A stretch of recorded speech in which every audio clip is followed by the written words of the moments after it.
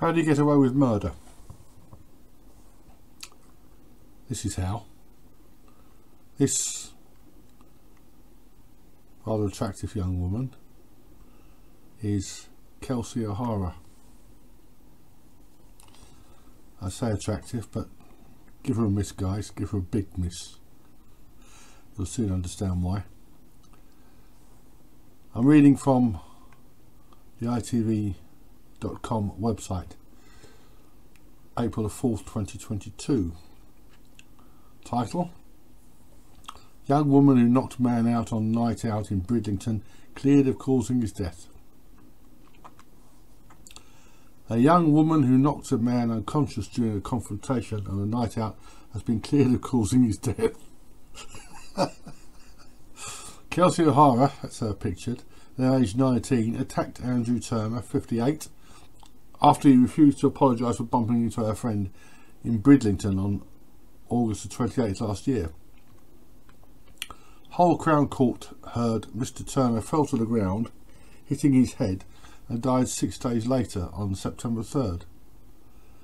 Homicide police launched a murder investigation, but the court heard that two medical experts concluded O'Hara was not responsible for his death. Andrew Espley, prosecuting, said the incident happened after Mr. Turner went out for drinks in Bridlington with a friend. Mr. Turner's friend knew one of O'Hara's friends and he apologised to her for an incident a couple of weeks earlier. But at around 1.30am, O'Hara confronted Mr. Turner in Marlborough Terrace and asked him if he would apologise to one of her friends after accidentally walking into her, who refused to call her. Mr. Epsley said O'Hara threw her purse onto the floor and launched herself at Mr. Turner, punching him in the face once and causing him to lose consciousness when he fell to the floor, hitting his head in the process when he fell. Mr. Turner of Bridlington suffered a cut to the back of his head but refused to go to hospital and his injuries were not initially believed to be life-threatening. O'Hara was arrested the next day. She made no comment during police interview. Mr. Epsley said Mr. Turner did not die until September 3rd, so she would not have been asked about causing his death punch seems to have been impulsive and spontaneous, and it was one punch. Only one punch!